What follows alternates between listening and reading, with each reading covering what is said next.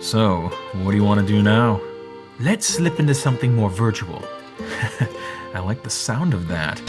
Honey, I'm home! You'll never guess who I ran into at the- What the is this? It's not what you think. Are you cheating on me with another processor? P- Please, I can explain. What, am I not hot enough for you? No, no, no. Actually, you're kind of too hot for me. Plus, you're not the most punctual. You're not helping. Why?